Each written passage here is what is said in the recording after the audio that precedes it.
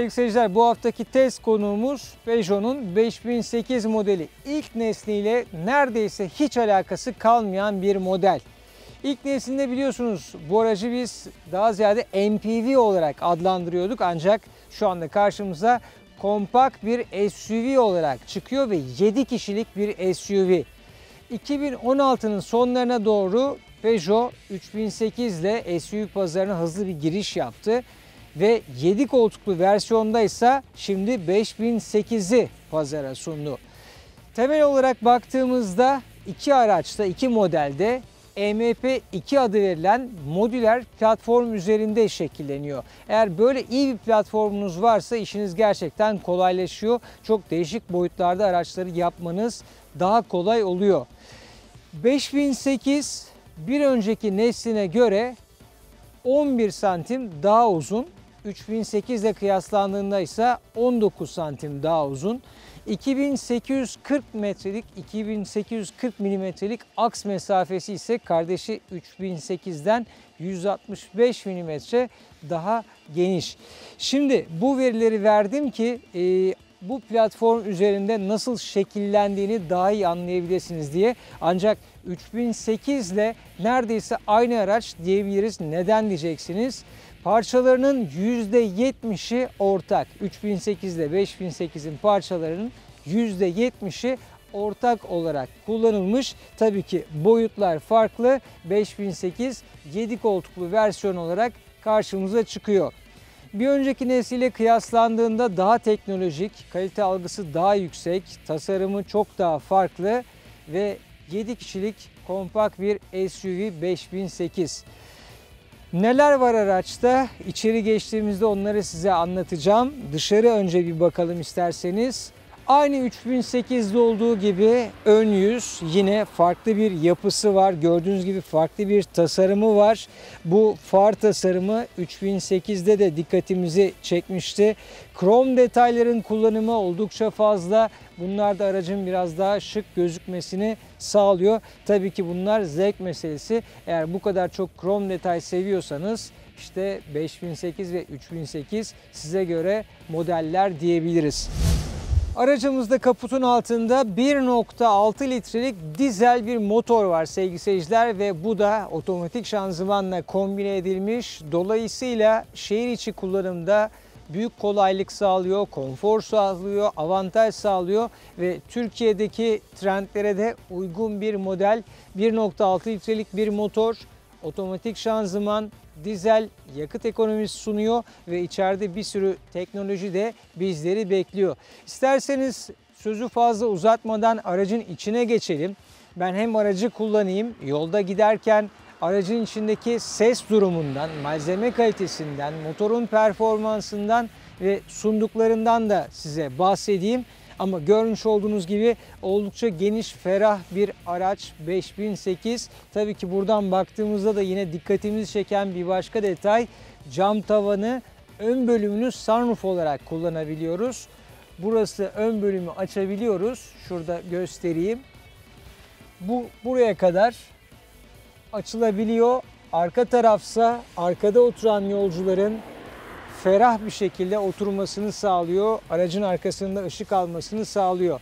7 kişilik bir araç dedik. Arkadaki iki koltuğu kaldırdığınızda 7 kişi oturabiliyor. Ama tabii ki diğer 7 koltuklu araçlarda olduğu gibi en arka iki koltuğu çocukların kullanmasında fayda var. Biniş inişler biraz sıkıntılı olabiliyor. Onu da göstereyim. Kapıyı açtınız. Burada bu koltuğu öne doğru yatırmanız lazım ve daha sonra bu aradan e, buraya geçmeniz lazım. Gördüğünüz gibi işte biraz iri cüsseliler için buraya girip çıkmak zor olabilir ve diz mesafesi kısıtlı olabilir ama ön bölümdeki koltukların yatırılıyor olması, sırtlık ayarının yapılıyor olması, ileri geri hareket etmesi de aracın modüler yapısını ve kullanım kolaylığını artırıyor anlamına geliyor. Bunları kendinize göre ayarlayabiliyorsunuz. Evet, aracın arkasına oturduğumuz zaman koltukları en öne aldığımda gördüğünüz gibi diz mesafesi bu kadar. Ama bu koltukları gördüğünüz gibi ileri geri hareket ettirebiliyorum. En arkaya aldığımda ise oldukça geniş bir diz mesafesi bizleri bekliyor. Baş mesafesi biraz e, gördüğünüz gibi dar. Yani neredeyse iki parmak şu anda mesafe kalıyor ama burada da bizi rahatlatan şey bu görmüş olduğunuz panoramik cam tavan. Burası hem içeri girintili olması nedeniyle hem de aydınlık durması nedeniyle arkada oturan yolcuları biraz olsun rahatlatıyor. Ama uzun boylu bir yolcu buraya oturursa eğer işte gördüğünüz gibi çok az bir alan kalıyor. Arkada daha ziyade çocukların oturacağını düşünürsek pek fazla problem olmayacaktır. Burada çocuklar yine düşünülmüş ve bir masa konmuş koltukların arkasına. İki e, koltuğun arkasında da bu mevcut. Bu masada çocuklarımız tabii ufak tefek e, eşyalarını koyabilir. E, atıştırmak için içeceklerini, yiyeceklerini koyabilir. Bunlar da uzun seyahatlerde hayatı kolaylaştıran detaylar.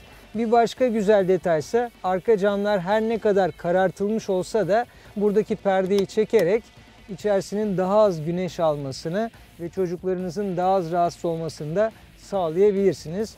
Perdeyi bu şekilde yukarı aşağı ayarlamanız mümkün. Bu arada arkadaki yolcular için bu bölümde bir havalandırma kanalı da mevcut ve üfleme hızını da buradan ayarlayabiliyorsunuz. Ortasına ise 12 voltluk bir soket yerleştirilmiş. Aracın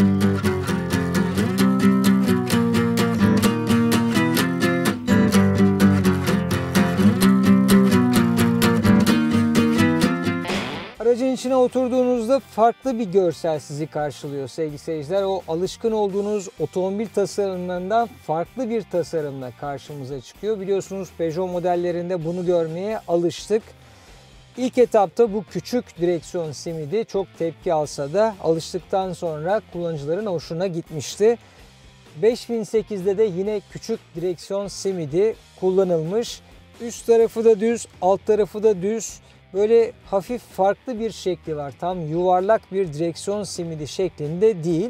Direksiyonun üzerinden göstergeleri görüyorsunuz ve e, buradaki ekranı iCockpit ekranını da çok rahat görebiliyorsunuz. Sürücüye dönük konumlandırılmış. Hemen dikkati çeken onun altındaki adeta piyano düğmesi gibi, piyano tuşları gibi konumlandırılmış düğmeler. Buradan fonksiyonlara erişebiliyorsunuz. Start düğmesi burada. Biraz uzun basmanız gerekiyor. Uzun bastıktan sonra ayağınız frendeyken aracınız çalışıyor ve yine farklı bir yapıda vites kolu var. Sol taraftaki düğmeye basarak geri çektiğinizde drive moduna geçiyor. Elektrikli park frenimizi biz dokunmuyoruz. Ayağımızı frenden çekip gaza dokunduğumuz anda kendi kendini boşa çıkartıyor ve aracımız hareket etmeye başlıyor. Ben her şeyi tek tek anlatmaya çalışacağım 5008 ile ilgili. 3008'de de bu özellikleri neredeyse benzerlerini görmüştük. Evet, şimdi e, güzel bir yolda bu aracı kullanalım. Hafif virajlı bir yolda. Tabii ki aracın süspansiyonuna ve sürüş dinamiklerine de değinmek lazım. Neden diyeceksiniz? 3008'den daha uzun olduğunu söylemiştik 19 santim.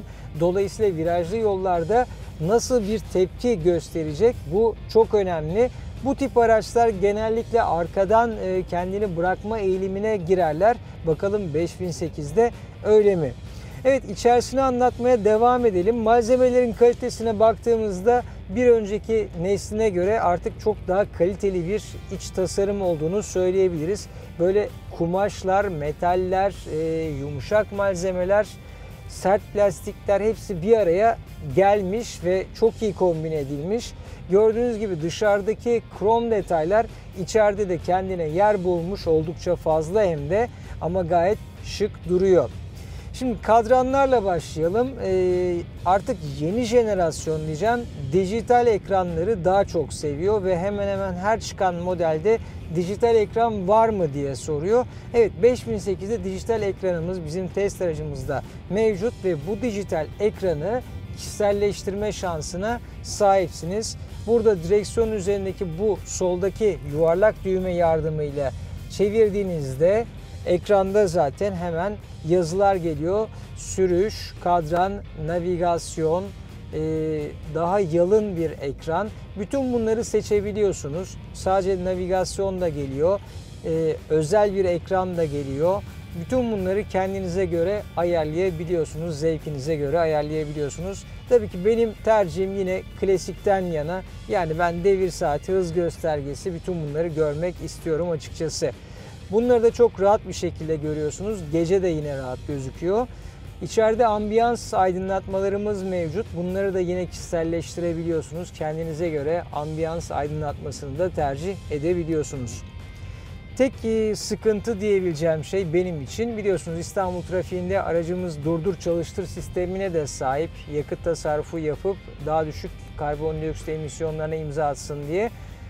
Bunu iptal etmek için ayrı bir düğme burada yok. Ee, hemen araç resminin olduğu düğmeye basıp buradaki menüden Stop and Start On Off tuşundan off yapmanız gerekiyor. Bunu işte her seferinde yapmak beni biraz yordu ama onun dışında e, artık yeni nesil daha dijital ekranları ve dijital fonksiyonları daha çok seviyor.